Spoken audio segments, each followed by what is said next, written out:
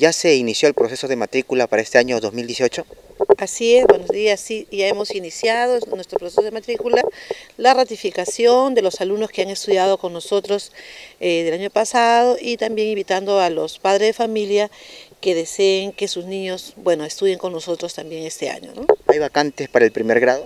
Sí, tenemos vacantes para todos los grados y estamos en espera de que los padres, bueno, ya están viendo llevar algunas vacantes y que sigan llegando todavía los que quieran confiarnos la educación de sus niños en el presente año. Con respecto a la huelga magisterial que se hizo el pasado año, eh, ¿se cumplieron eh, las horas de clases perdidas?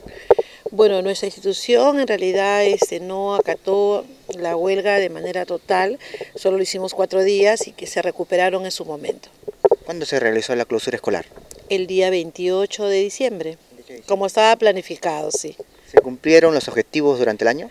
Sí, claro que sí. Nosotros hemos tenido algunas metas importantes para este año en cuanto a los aprendizajes de los alumnos, eh, lo cual ha demandado toda nuestra atención y sí, sí se han cumplido.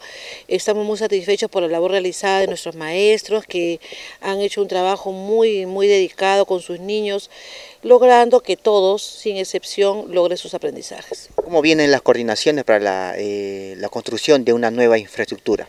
Bueno, nosotros ya hemos presentado una vez más en las instancias superiores en Lima, del Ministerio de Educación, nuestro proyecto que ya está encaminado al mejoramiento integral de la infraestructura.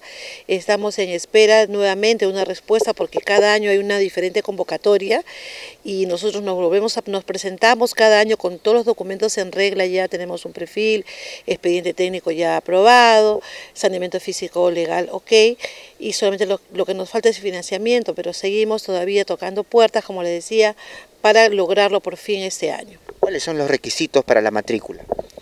Bueno, para la matrícula es, son, es diferente, ¿no? dependiendo del grado al que postulen. En el caso de los alumnos que han estudiado con nosotros, solamente la ratificación, el padre de familia tiene que acercarse a hacer la ratificación, que es inmediata y gratuita. Y en el caso de los niños que llegan por primera vez eh, a tres años o a primer grado, pues tienen que traer una serie de documentos como es su, su copia de DNI, parte de nacimiento, tarjeta de vacunación, eh, DNI de los padres, para poder ingresar todos los datos que corresponden al sistema, si aquí. ¿Cuáles son los horarios de oficina? Bueno, nosotros estamos atendiendo todos los días de las 8 hasta las 3 de la tarde.